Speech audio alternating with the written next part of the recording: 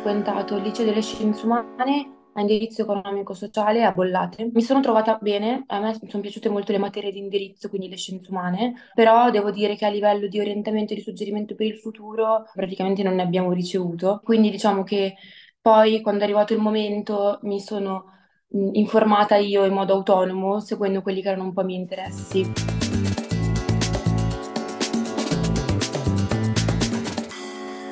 Io sapevo semplicemente che mi piacevano, piacevo comunque rimanere nelle materie umanistiche. Non avevo deciso una cosa precisa, però ho fatto un po' di test, quindi ho fatto, ho provato scienze dell'educazione in Bicocca, ho provato psicologia in Bicocca, eh, poi mi ero anche fatta il test degli studi umanistici della statale eh, quindi quello che comprende filosofia, letteratura, beni culturali, insomma quel, quel ramo lì. Poi andando ai vari open day, visitando le varie università, sono venuta a conoscenza anche della facoltà di scienze dell'educazione, di cui io non sapevo l'esistenza. Poi anche grazie a conoscenze personali sono venuta anche a conoscenza più a livello pratico di cosa facesse l'educatore e mi sono interessata appunto a questa facoltà. Alla fine ho deciso di, di iscrivermi e in realtà da subito, dal primo semestre, mi è piaciuta tantissimo, quindi poi ero contenta di dove ero andata, però ecco, io non avevo per niente le, le idee chiare, ecco, quando sono uscita dal liceo.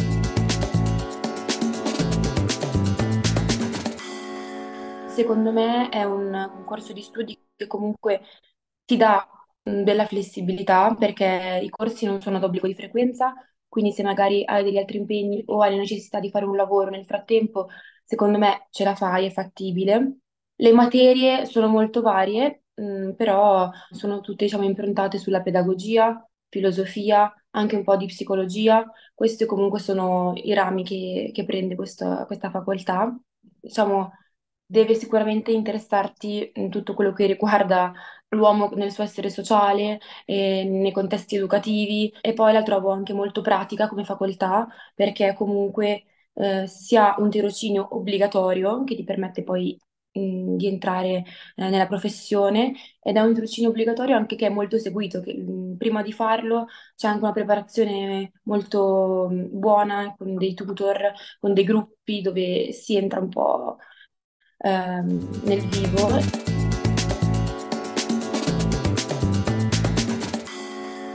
All'inizio avevo bisogno di capire come funzionasse l'università, essendo completamente diversa dal liceo, non c'è nessuno che ti obbliga ad andare a lezione, non hai degli orari precisi, a volte le lezioni sono alle 8 del mattino, altre volte sono alle 3 del pomeriggio, quindi comunque bisogna un attimo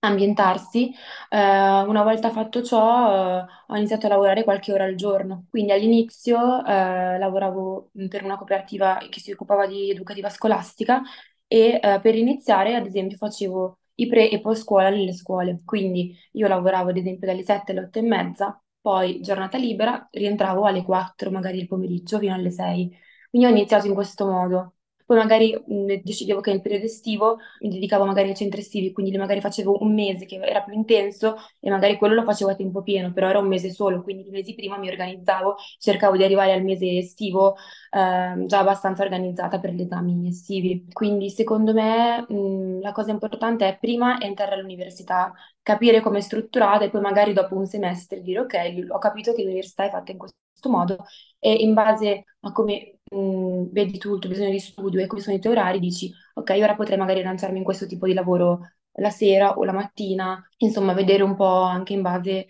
a come ci si sente una volta entrati nel, nell'ambito universitario.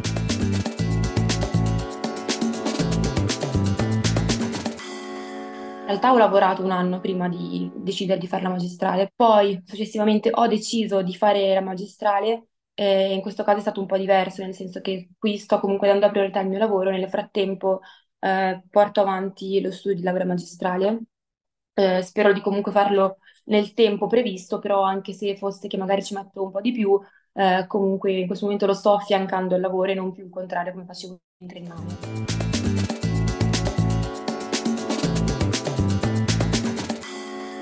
Innanzitutto, secondo me, bisogna capire che fare l'educatore è un mestiere strettamente relazionale, cioè tutta la professionalità eh, di questo lavoro è proprio nella relazione educativa, quindi il presupposto proprio di base è quello di eh, voler lavorare con le persone ehm, con situazioni comunque eh, diverse dalla tua, essere aperti, essere molto dinamici, essere molto flessibili e ehm, appunto saper cambiare continuamente punto di vista ed essere anche un po' creativi nel pensiero. Se non hai questa parte dentro di te, sicuramente non è un, un lavoro che consiglio. Eh, però se invece si ha questo occhio, questa attenzione, questa cura verso le relazioni, eh, e verso proprio le persone, sicuramente può essere un, un lavoro molto molto bello che ti dà tantissimo.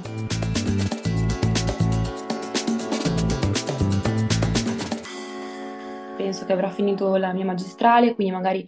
eh, starò facendo anche magari eh, qualche lavoro mh, sempre nello stesso ambito, ma magari cambiando ambiente o, o ruolo proprio.